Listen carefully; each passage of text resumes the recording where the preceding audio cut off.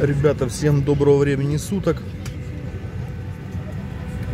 Нахожусь сейчас в аэропорту, видите, да? вот?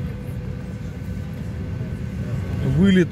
И вот часто очень меня спрашивают, что надо принимать для того, чтобы не укачивало. Я вам сейчас покажу.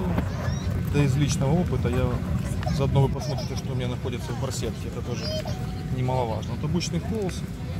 Это такой маленький лайфхак. Меня он постоянно спасает. Од- од- Одно колесо холса и нормально. Если же вы холстом или не переносите, или еще что-нибудь, то неплохо даже помогает обычный тик.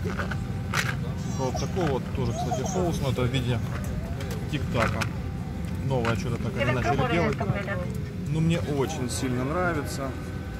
И на взлете, и вообще, вот даже если какой-то перепад давления, что-нибудь еще, обычные аритмятные таблетки, но мне ментоловые. Кстати, расскажу вам такую маленькую историю. В Советском Союзе, в СССР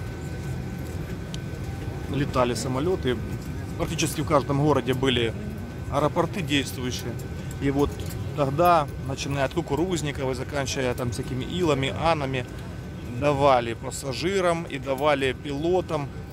Да, да, да, обычные мятные таблетки. Вот которые круглые, такие вот обычные. Поэтому холст, поверьте мне, будет действительно классная штука. Ну или принимайте обычные риски ментоловые, типа барбариски, тоже нормально. Ну, мой метод такой. В общем, ребятки, ставим лайки, подписываемся на наш канал.